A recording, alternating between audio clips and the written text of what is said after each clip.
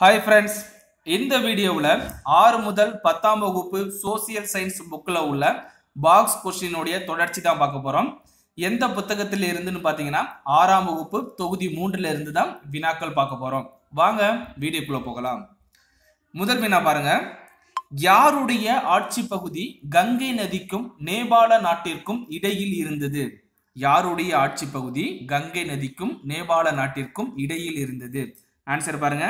லிச்சாவி. லிச்சாவி அப்படிங்கிறது வந்து பழமையான கன சங்கங்களில் ஒன்று. இவங்க தான் வந்துட்டு கங்கை நதிக்கும் நேபாள நாட்டிற்கும் இடையில இருந்தாங்க.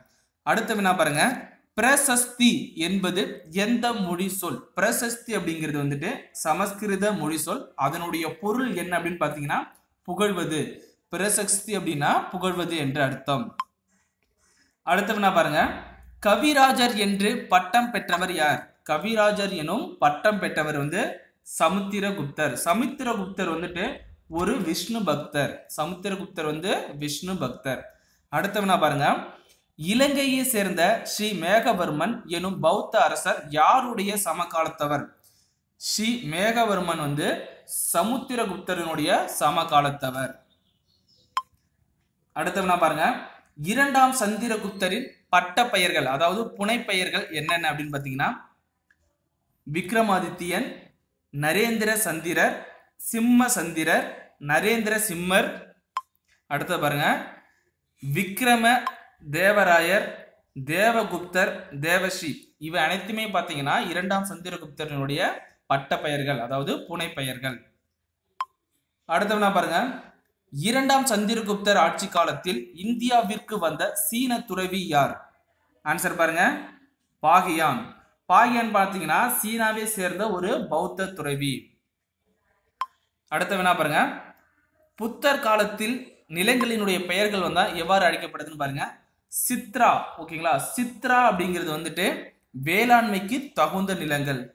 கிலா என்பது பார்த்தீங்கன்னா தரிசு நிலங்கள். அப் ரகதா அப்படிங்கிறது வனம் அல்லது காட்டு நிலங்கள். பஸ்தி அப்படிங்கிறது குடியிருப்பிற்கு த உகந்த நிலங்கள். கப தசரா அப்படிங்கிறது பார்த்தீங்கன்னா மேய்ச்ச நிலங்கள்.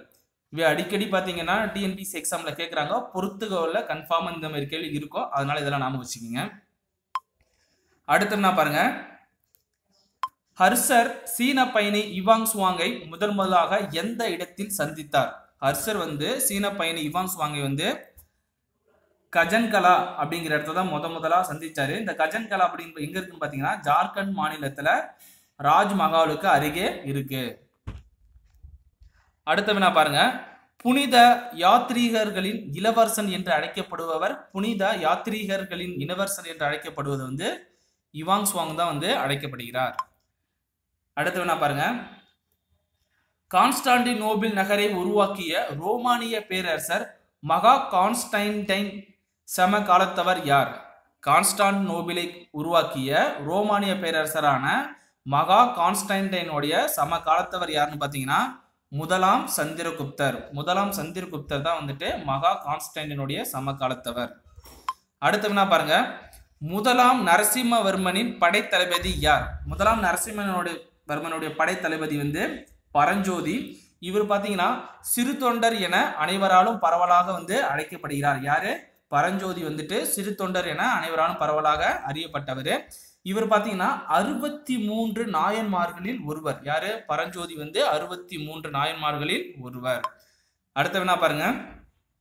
சிம்ம விஷ்ணு பெற்ற பட்டங்கள். சிம்ம விஷ்ணு வந்து பெற்ற பட்டங்கள் பாருங்க. அவர் பெற்ற பட்டம் வந்து அவனி சிம்மர் அப்படிங்கிற பட்டத்தை பெற்றிருக்காரு. அடுத்தது முதலாம் மகேந்திரவர்மன் பெற்ற பட்டங்கள் என்னென்ன பாருங்க. சங்கிரண ஜதி மத்த விலாசம் குணபாரன் சித்திரகார புலி விசித்திர சித்தன். இவை அனைத்தும் பார்த்தீங்கன்னா முதலாம் மகேந்திரவர்மன் பெற்ற பட்டங்கள். அடுத்தது பாருங்க. முதலாம் நரசிம்மவர்மன் பெற்ற பட்டங்கள் என்னென்னு பாருங்க. மாமல்லன் வாதாபி கொண்டன். இது ரெண்டுமே பார்த்தீங்கன்னா முதலாம் நரசிம்மவர்மன் பெற்ற பட்டங்கள். அடுத்தவனா பாருங்க. எந்த கல்வெட்டில் ஹர்ஷ் வர்த்தனர் இரண்டாம் புலிகேசியால் தோற்கடிக்கதை பற்றி குறிப்பிடப்பட்டுள்ளது. எந்த கல்வெட்டுல ஹர்ஷ்வர்தனர் வந்து இரண்டாம் புலிகேசியால் தோற்கடிக்கப்பட்டார்? ஓகேங்களா? அதை பற்றி எந்த கல்வெட்டுல குறிப்பிடப்பட்டதுன்னு பார்த்தீங்கன்னா ஐகோல் கல்வெட்டு. இந்த ஐகோல் கல்வெட்டு எங்க உள்ளதுன்னு பாத்தீங்கன்னா மேகுதி கோவில்ல இருக்கு. இந்த மேகுதி கோவில் எங்க இருக்குன்னு பாத்தீங்கன்னா கர்நாடக மாநிலத்துல பாகல்கோட் மாவட்டத்துல ஐகோல் கிராமத்துல அதாவது ஐகோல் பகுதியில் வந்து தான் இந்த மேகுதி கோவில் இருக்கு. இந்த ஐகோல் கல்வெட்டு வந்து யாரால் எழுதப்பட்டதுன்னு பாத்தீங்கன்னா ரவி கீர்த்தி என்பவரால் எழுதப்பட்டது. இந்த ஐகோல் கல்வெட்டு வந்து ரவி கீர்த்தி என்பவரால் எழுதப்பட்டது. எந்த மொழியில எழுதப்பட்டதுன்னு பாத்தீங்கன்னா சமஸ்கிருத மொழியில எழுதப்பட்டது. இந்த ரவி கீர்த்தி என்பவர் யாருன்னு பாத்தீங்கன்னா சாளுக்கிய இரண்டாம் ஓகேங்களா? சாளுக்கிய அரசன் இரண்டாம் புலிகேசினுடைய அவைக்கல புலவர் தான் வந்து இந்த ரவி கீர்த்தி. அடுத்தவனா பாருங்க. யுனெஸ்கோ உலக பாரம்பரிய சின்னமான பட்டடக்கல் எந்த மாநிலத்தில் அமைந்துள்ளது?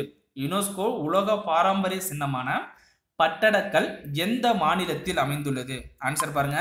கர்நாடக மாநிலத்தில் தான் இந்த பட்டடக்கல் இருக்கு. இந்த பட்டடக்கல் வந்து ஒரு சிற்றூர். இங்க வந்து சிறப்பு மிக்க கோவில்கள் இருப்பதாக யுனெஸ்கோ வந்து உலக பாரம்பரிய சின்னமாக இந்த பட்டடக்கல்ல அறிவித்துள்ளது. அடுத்தவனா பாருங்க.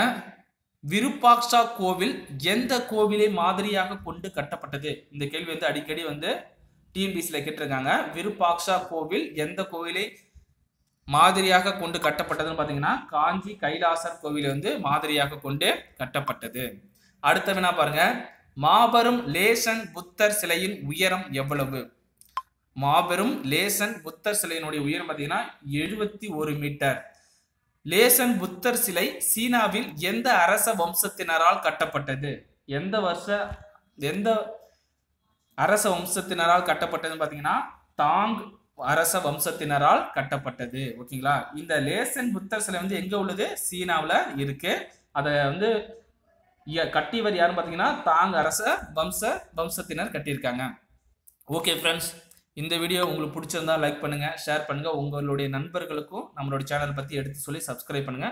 அடுத்த வீடியோவில் நம்ம வந்துட்டு பார்ட் எயிட் பார்ப்போம். பார்ட் எயிட் பார்த்தீங்கன்னா சிக்ஸ்த் ஸ்டாண்டர்ட் டேம் த்ரீல இருந்து தான் பார்க்க போகிறோம் ஓகே ஃப்ரெண்ட்ஸ் தேங்க்யூ